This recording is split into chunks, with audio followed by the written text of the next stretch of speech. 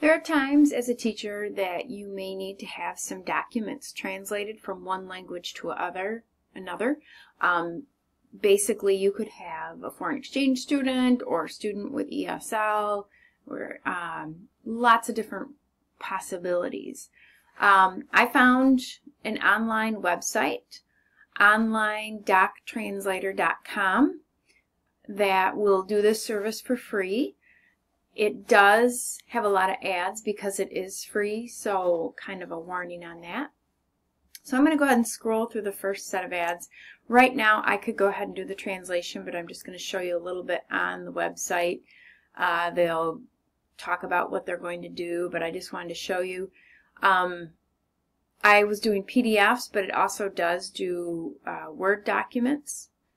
So basically, I'm just going to click on Translate Now, and I think there's 104 languages that are it's available to translate. So let me just take, you can drag it into here or upload it. I'm just going to drag, since this was harder to find.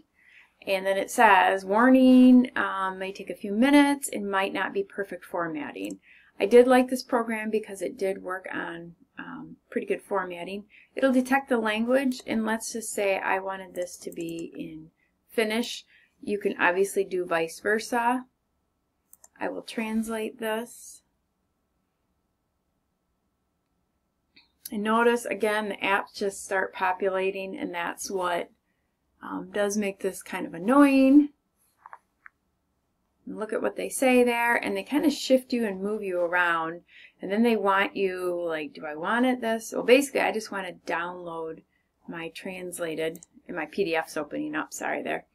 Uh, you would just like to download your translated document.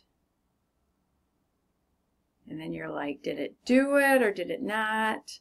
Um, right here you'll notice this does preserve a lot of the formatting. It switches the uh, language.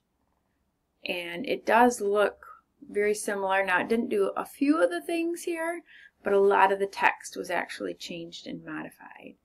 Uh, so now you know how you can translate Word documents or PDFs.